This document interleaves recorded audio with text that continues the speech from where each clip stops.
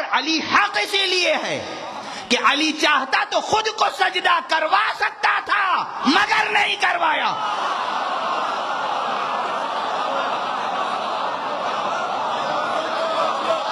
अली हक इसलिए है कि हमेशा हक को सजदा करता रहा।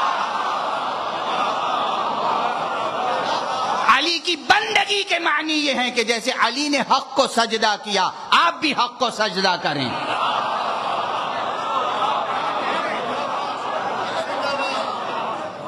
बंदगी इतात अली की बंदगी के मानिए जैसे वो हमेशा हमद इलाही करते रहे, आप हमद इलाही करते रहे।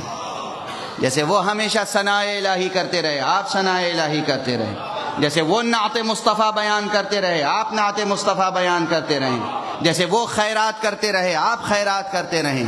जैसे वो बुराइयों को मिटाते रहे, आप बुराइयों को मिटाते रहे। ये अली की बंदगी है।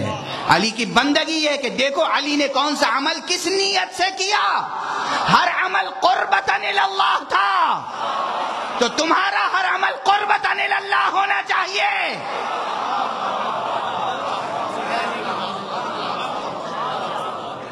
ये अली की बंदगी।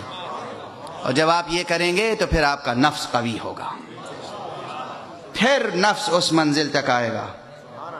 क्या आपका ईमान काबिल कबूल हो सके? हम्म?